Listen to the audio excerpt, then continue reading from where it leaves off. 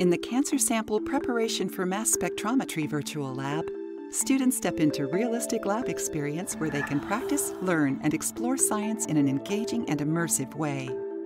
These simulations will help students understand the correlation between phosphorylation and cancer, prepare a biopsy sample for mass spectrometry.